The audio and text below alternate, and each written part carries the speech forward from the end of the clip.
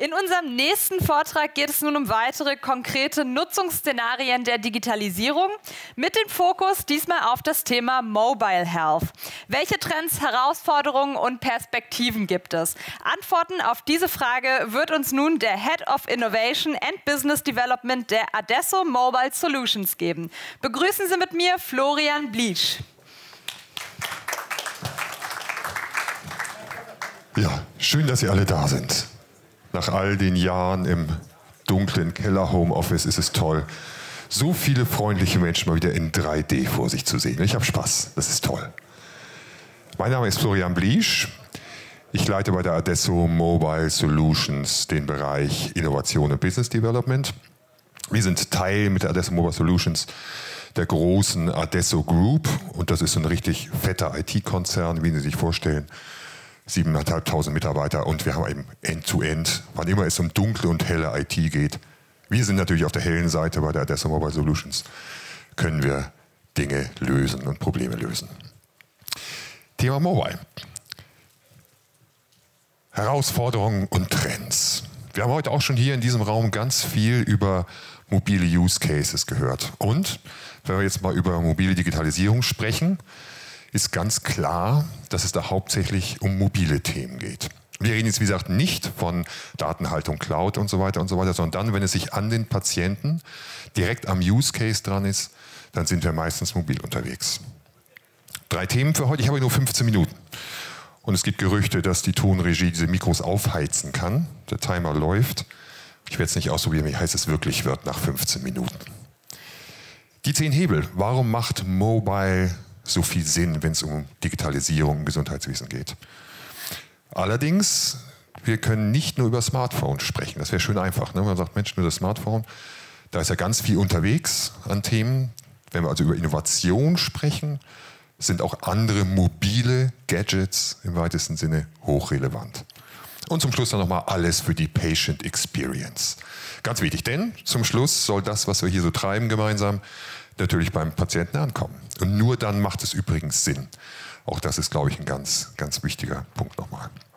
Die zehn Hebel, da geht nämlich richtig was. Der erste ist natürlich, wir haben, und da, auch wenn das zynisch klingt, war natürlich Corona ein ganz wichtiger Impuls. Nämlich mit einmal sind wir mit mobilen Dingen tatsächlich sichtbar und haben ja auch bewiesen, dass es da eine soziokulturelle Relevanz gibt. Eindeutig. Das funktioniert. Hoher Digitalisierungsbedarf. Auch das hatten wir heute schon mehrfach. Es gab ja schon einige sehr deutliche ähm, Vorträge und Panel-Diskussionen zum Thema. Da ist ganz, ganz viel Arbeit drin, ähm, tatsächlich um diese konsequente Digitalisierung überhaupt voranzutreiben. Die volkswirtschaftliche Relevanz. Auch das ist Ihnen bewusst. Wir bewegen da gemeinsam ganz viel Geld manchmal an den richtigen Stellen, manchmal auch nicht an den richtigen Stellen. Da gibt es gute und schlechte Tage. Nichtsdestotrotz ist ein Gesundheitswesen, und gerade das deutsche, ein ziemlich teures System. Und da haben wir ja auch, jetzt sind wir wieder beim öffentlich-rechtlichen Kontext hier, ganz viele Visionen und Vorgaben. Ein paar habe ich da aufgeführt. Die EAU, die Arbeitsunfähigkeitsbescheinigung, die DIGAS, auch die hatten wir heute schon ganz oft, die Corona-Warn-App natürlich, aber die EPA, das E-Rezept läuft da gerade nicht so richtig rund, aber trotzdem ja prinzipiell erstmal eine gute Idee. Deshalb auch relevant. Also auch da ist der Gesetzgeber durchaus auf unserer Seite und das ist schön so. Und da muss man auch ganz klar sehen, es gibt extrem viele mobile Use Cases an der Stelle. Wie gesagt, wir reden jetzt nicht von Infrastruktur und Cloud und was da so unterwegs ist, sondern einfach, ne, was, was haben wir so bei uns, was haben wir am Patienten dran. Und da sehen Sie, ne, da ist ganz viel Kram. Diagnostik, die EPA natürlich, die ja generisch, nativ ein mobiles Thema ist. Disease Management, die ganzen DMPs, Fernüberwachung, Medikationsmanagement, DIGAS, Telemedizin und so weiter und so weiter. Und das sind alles mobile Themen. Und wir haben noch was ganz Schickes. Das ist auch leider etwas, was in diesem ganzen Kontext ähm, von E-Health noch aus meiner Sicht viel zu wenig benutzen. Wir haben da schon richtig tolle und gut funktionierende Ökosysteme. Was Sie da mal sehen, ist einfach so die Übersicht, was uns unsere Freunde von Apple und unsere Freunde von Google schon so bereitstellen, was in jedem unserer Smartphones, wenn sie halbwegs modern sind, einfach schon drin ist. Und das sind hochrelevante Daten, die wir da erheben, die im Moment so ganz niedlich irgendwie in den jeweiligen Ökosystemen drin sind, nicht in der EPA drin sind und so weiter und so weiter. Also auch da spannender Hebel. Und wir haben ganz viele Stakeholder. So, und da sehen Sie ganz unten haben wir unseren Gesundheitskunden, das ist der Leistungsberechtigte, da ist jetzt ein bisschen ähm, Gesundheitswesen sprecht drauf mit dem Leistungsträger, dem Leistungserbringer und so weiter und so weiter. Ja, und die Gesundheitskunden sind diejenigen, die immer intensiver mit ihren Mobile Devices arbeiten und eben für uns hochvalide Daten generieren können, auf jeden Fall. Gut, wachsender Wettbewerb, neue Rollen. Auch das ähm, lese ich Ihnen nicht ganz vor. Das Handout, glaube ich, kriegen Sie auch noch zum Download und so weiter und so weiter. Da sehen Sie, dass da ganz neue, wiederum Ökosysteme in den Ökosystemen entstehen. Ganz viel haben wir auch heute schon erlebt, ganz viel Power und auch ganz viele Ideen. Ähm, und auch da bewegt sich extrem viel. Und dafür brauchen wir tatsächlich an den verschiedensten Stellen mobile Medien. Und es entsteht einfach eine Win-Win-Win-Situation für die Leistungsträger, die Erbringer und die Berechtigten. Da gibt es eine schöne Zahl, ähm, die ist von PricewaterhouseCoopers, also Schall und Rauch, aber die sagen, mein Gott, nur wenn wir sauber digitalisieren, so Themen wie ähm, Doppeldiagnostik ähm, und so weiter vermeiden, können wir bis zu 39 Milliarden Euro im Jahr sparen. Ob das jetzt 39, 35 oder 50 sind, wissen wir alle nicht genau, ist klar, aber da ist auf jeden Fall ein extremer Hebel drin, allein mit diesen Doppeluntersuchungen. Ja, und ganz last but not least, wir können da echt was bewegen.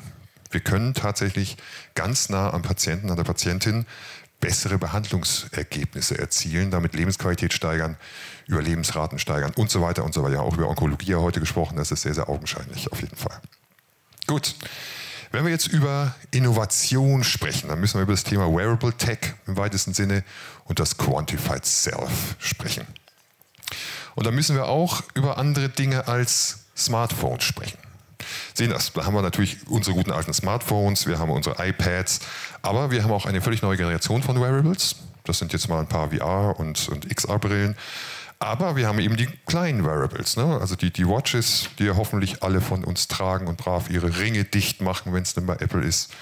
Aber auch Themen, wie gesagt, von anderen Herstellern oder auch so Dinge wie extrem smarte Kopfhörer in ihr Headsets, die zum Beispiel auch einen Puls messen können mittlerweile und so weiter. Heißt auch, wir müssen den Fokus ein bisschen aufmachen. Wenn wir uns mal so eine Apple Watch anschauen, was die alles so an Daten liefert. Die kann ganz viel messen, die hat ganz viele Sensoren. Ne? Aber die rechnet auch ganz schön viel Kram schon hin. Cardio-Fitness zum Beispiel, VO2 Max. Das ist ein ganz wichtiger Fitnessparameter. Ich weiß nicht, welche Ausdauersportler wir unter uns haben, aber dann waren sie sicher schon mal bei der Leistungsdiagnostik, wenn sie es ernst nehmen. Atemgasanalyse, ne, stehen sie rum auf dem Laufband und dann ist ihnen irgendwann schlecht, weil sie halt wirklich mal sich sauer laufen müssen. Das ist ganz furchtbar.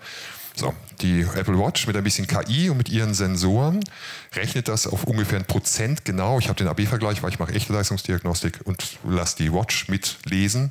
Hm, super, und sie macht das auf ein Prozent genau. Und das ja auch, wie gesagt, auf Daten auf Basis von KI. Das kann sie eigentlich nicht, ne, weil sie, ich, ich trage ja keine Atemmaske nachts. Ähm, aber sie kriegt es hingerechnet aufgrund der Parameter, die einfach da sind. Und das ist schön, auf jeden Fall. So, und das geht noch weiter. Ne? Wir haben über, schon über Fire gerade eben, haben wir auch Dinge gehört. Das ist in Amerika alles schon drin übrigens. Irgendwie. Da, auch die, da ist ja schon so eine Below-the-Line-Patientenakte unterwegs tatsächlich. Da wird ganz viel zwischen forschenden Institutionen, werden Daten ausgetauscht und gemacht und getan. Ähm, da sind wir halt leider im europäischen Raum noch nicht ganz. Vielleicht mit der Ausnahme Skandinavien, die ein paar Impulse in die Richtung haben. Und es geht weiter. Wie gesagt, die nächste Generation, das ist dann wahrscheinlich die Apple Watch 9 oder 10 oder sowas, die kann dann noch ganz wichtige Dinge wie Blutalkohol messen. Ne? Sollte ich jetzt noch Auto fahren oder nicht? Glucose, Achtung, Diabetes, Riesenfeld, unglaublich teures Feld. Ne? Und so nette Sachen wie eben auch den Blutdruck auf optischen Verfahren basierend, also ziemlich abgefahren.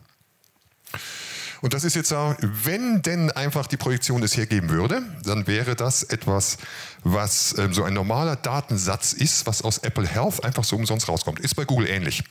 So, und da steht schon verflucht viel drin. Und das sind alles valide Daten.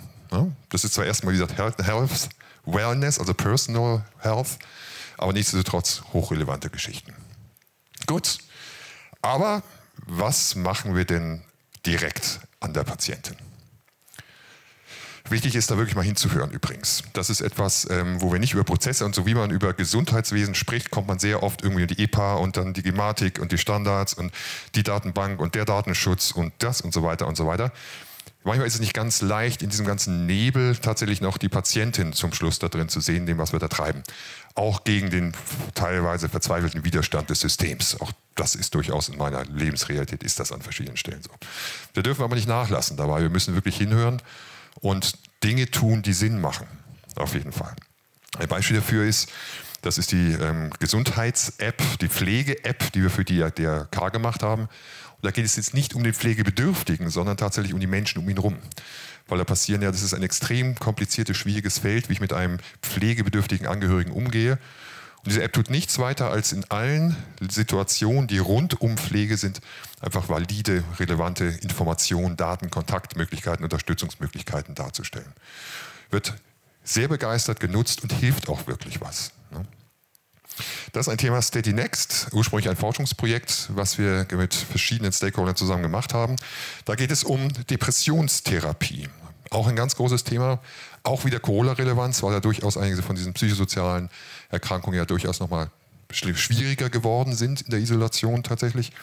So, und dann gehen wir einfach los und sagen, Mensch, es geht einfach um die Bewältigung von Depressionen geht es darum, wie können wir einfach die Lebensqualität von Depressionskranken da verbessern an der Stelle. Und da ist ganz viel Daten, vieles von dem, was ich Ihnen eben gezeigt habe, aus dem Health-Kontext heraus, als auch die Selbstanalyse, die Selbstauskunft. So. Und da ist natürlich auch zum Schluss noch ganz viel KI dabei. Ne? Da gibt es die Daten-App, da gibt es das Analyse-Backend und da gibt es zum Schluss die, die Frontend-Geschichten. Und das ist etwas, was ich Ihnen kurz zeigen wollte. Das ist nämlich wirklich toll. Das ist jetzt die Vorhersage, die wir auf KI-Basis treffen können innerhalb dieser App, weil es ist ganz wichtig, wenn es sich abzeichnet, dass ein Schub kommt, kann man was dagegen tun. Wenn Sie einmal in dem Schub drin sind, ist es meistens zu spät. So, und was, hier, was Sie hier sehen, die blaue Linie ist die Eigenauskunft der Patientin. Und das Grüne ist inklusive der Konfidenzintervalle das, was die KI vorausgesagt hat.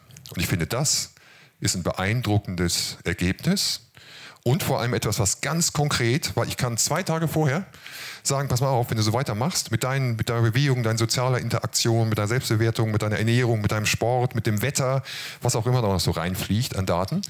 Achtung, Freitag hast du ein Problem, ruf jetzt den Therapeuten an. Und ich finde, das ist etwas, was eine tolle Sache ist.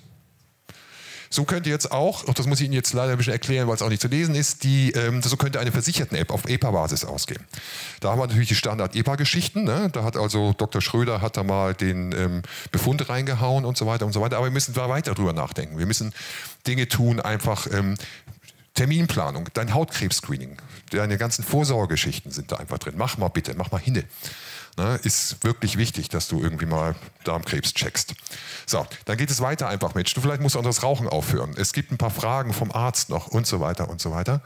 Und auch hier können wir so einen wunderschönen Kosmos an relevanten Health-Daten, die aus dem Personal Health-Bereich und dem professionellen Health-Bereich stammen, im Sinne des Patienten, der Patientin zusammenfassen und auch da Dinge wirklich verbessern. Gut, ganz kurzes Beispiel auch noch, jetzt sind wir wieder bei den anderen Variables, ähm, wenn wir zum Beispiel jetzt von Physiotherapie-Unterstützung in der Virtual Reality sprechen. Physiotherapie ist ein Spannungsfeld, kostet auch ganz viel Geld, ist ein schwieriges Feld auch, das optimal zu bedienen, das Thema. So, da haben wir einfach mal gesagt, Mensch, ein bisschen Gamification, mach doch mal deine Übungen, die du von deinem Therapeuten bekommst, mal auf einer Farm, auf Inas Reha Ranch, wo wir dann einfach tatsächlich Standardübungen der Physiotherapie mit ganz viel Gamification, da sehen Sie ja mein, mein Liebling, die Kuh, die mut dann auch und da ist eine so eine Dehnübung, ist dann tatsächlich, da füttern Sie halt die Kühe, ne? Mo rüber aufheben, rechte Kuh mit linken Arm, linke Kuh mit rechten Arm und so weiter und so weiter. Macht Spaß, bindet den Patienten und vor allem das Regime wird mal eingehalten. Das ist ein Riesenthema bei der Physiotherapie. Da findet ganz viel statt in den 40 Minuten, die man hat vor Ort. Dann sagt der Zettel, mach das mal zu Hause bitte. Ja, und Paul Schröder setzt sich dann halt wieder mit der Bierdose und der Chipstüte aufs Sofa. Was ihn nicht davon abhält, in den nächsten Wochen dann zu sagen, er hätte sich jeden Tag gequält und er weiß gar nicht, warum es nicht besser wird. Und das ist ein Riesenproblem. So, und das Schöne ist ja, das ist auch alles revisionssicher dokumentierbar. Also alle Beteiligten wissen, wie oft hat er denn, wie viele Kühe hat er gefüttert, wie viele Möhren hat er, wie viele Äpfel hat er gepflückt. So, der Therapeut kriegt eine Auswertung, der Patient kriegt eine Auswertung und die Kasse, die ja auch immer über die Wirksamkeit von diesen Therapieansätzen entscheiden muss, kriegt auch noch was. Super. Dann haben wir alle glücklich und wieder eine Win-Win-Win-Situation hergestellt. Irgendwie. Und vielleicht auch ein wenig äh, dabei geholfen, dass halt einfach die Übungen zu Hause auch mal gemacht werden. Sonst bringt das nämlich alles nichts. Gut, wenn wir mit diesen Themen umgehen, ich komme auch langsam zum Schluss, das Mikrofon wird warm, ich merke es.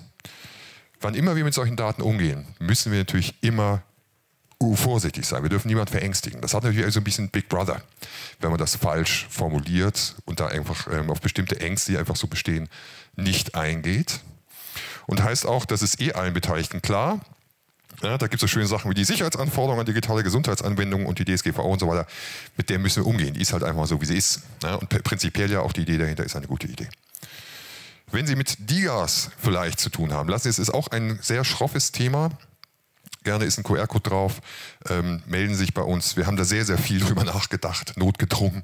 So, ähm, und können vielleicht ein paar von den klassischen Stolperfallen vermeiden. Das war's. Vielen Dank für Ihre Aufmerksamkeit.